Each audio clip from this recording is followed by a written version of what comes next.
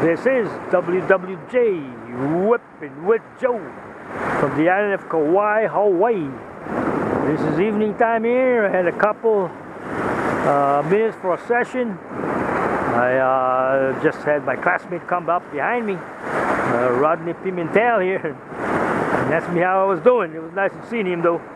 But anyway, uh, that's probably my 12th cast.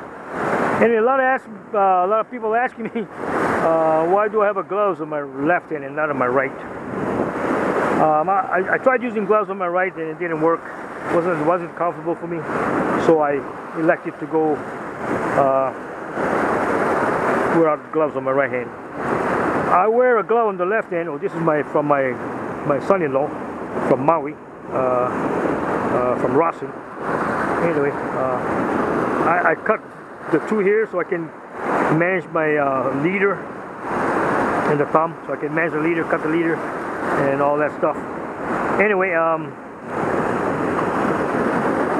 there's basically two reasons why I, I wear the glove. Number one, number one is to grab the fish by its tail normally or by under the gills with a glove so I, don't touch my hand basically. And, uh, and the other thing is to wrap the braid around my, my, my gloves so I can break it when it snags. Uh, it's difficult to break it without the glove. So what I do then is I just make it loose and this is what I do. I wrap around one, two, and I'll do it three times. And then I'll just make it tight and I'll just jerk it one time and it normally breaks. It's pretty easy actually. But if you don't have the glove, then it's very difficult to break. Uh, I see a lot of people just like doing it right off the reel. You, you know, you're gonna break the bail off here. Uh, there's a lot of pressure when you when you just have the tight to, uh, to, to a rock or whatever when it's snagged and you just pull it straight from here holding the spool you, you'll see the, the, the bail crunch up and uh, you might break the bail doing it that route.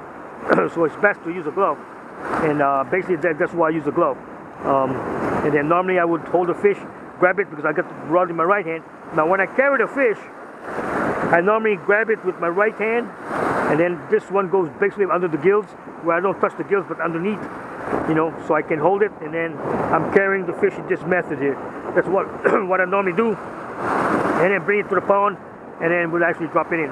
But uh, that's the reason why I wear gloves two reasons why I wear the glove. Again this is WWJ whipping with Joe. Had a whipping session today but anyway this is why I wear gloves. On my left arm left hand and not on my right again this is WWJ whipping with Joe. Aloha